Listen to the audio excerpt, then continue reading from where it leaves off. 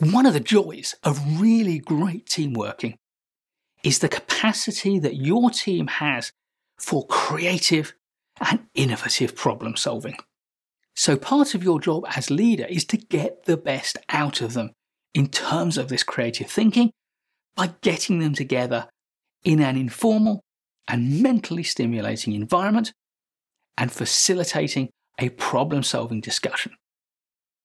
That's what we'll look at in this video.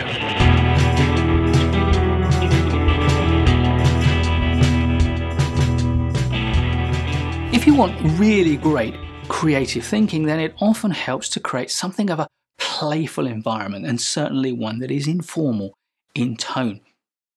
Surrounding people with posters, with flip charts, whiteboards, coloured pens, sticky notes, and even toys to play with can really boost people's sense of creativity and innovation. But to get the best out of your team, you also need to facilitate a conversation which is both structured but allows everybody to contribute. Indeed, it ensures that everybody does contribute because the people who have the ideas are not necessarily the most gregarious ones and the most willing to share.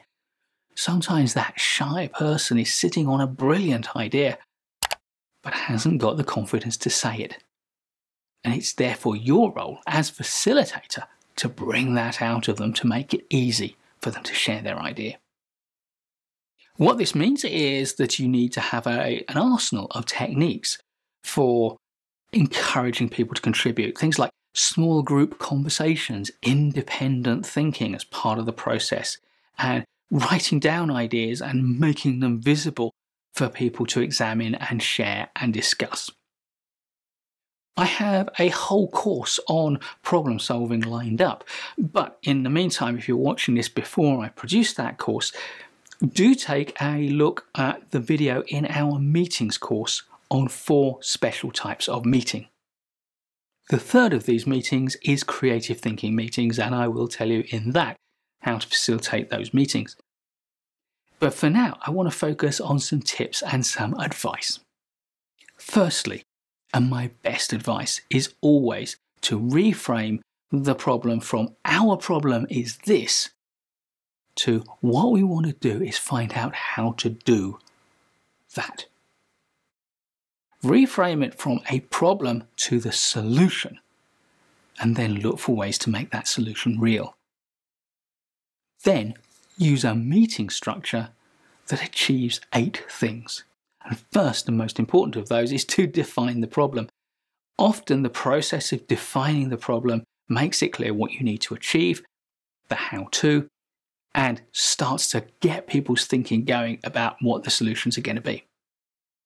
Second, you need to outline the context within which the problem sits. Make sure that people understand the parameters and the constraints uh, under which they need to operate, but also what the freedoms are.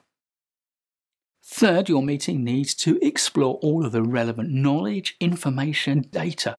Draw in all of that and discuss it before you start articulating possible solutions. It's at step four that we get the widest possible range of options on the table, encourage everybody to put their ideas down. And whilst brainstorming isn't often the best way to do it, if it's the only way you know, then use it. Next, you need to put all of those ideas to the test and test them hard and rigorously.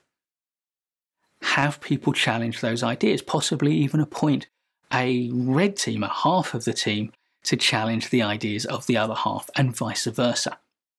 Another approach is to have a devil's advocate ask one person to try to pick holes in every single idea, or another approach is to get the whole group to take each idea and to find as many things wrong with it or as many risks or challenges to it. When you've exposed the weaknesses of the idea, next thing you need to do is to look for variations on those ideas that address the weaknesses. And one way systematically to vary the ideas is to try combining different ideas so that two different ideas together resolve the whole problem and cancel out each other's shortcomings. Only then do we ask the team to determine the optimal problem resolution. What is the solution or the combination of ideas that form the solution? And finally, at number eight, we need to produce a plan. We know what the solution is. How are we going to implement it?